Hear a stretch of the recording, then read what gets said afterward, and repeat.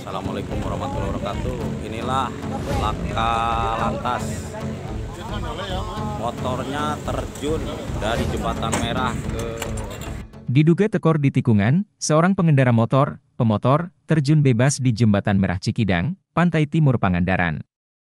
Kejadian ini terjadi pada Selasa, 11 Juli 2023, sekitar pukul 10, saat pemotor sedang melaju dari arah lapangan Ketapang Doyong, Pantai Timur Pangandaran menuju arah Desa Babakan atau keluar kawasan objek wisata. Namun, setibanya di tikungan Jembatan Merah Cikidang, Seorang pemotor yang tidak diketahui identitasnya tersebut terjun jatuh ke samping kiri jembatan, satu tokoh nelayan setempat sekaligus sebagai ketua SAR Barakuda Pangandaran, Sakio Andrianto, mengatakan, sesaat mengetahui ada pengendara motor yang jatuh, para nelayan dan relawan SAR Barakuda langsung mendatangi lokasi kejadian dan menolong korban.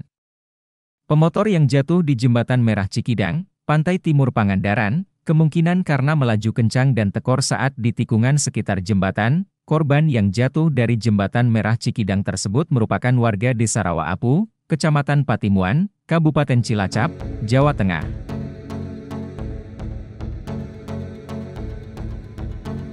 Terima kasih sudah nonton. Jangan lupa like, subscribe, dan share ya.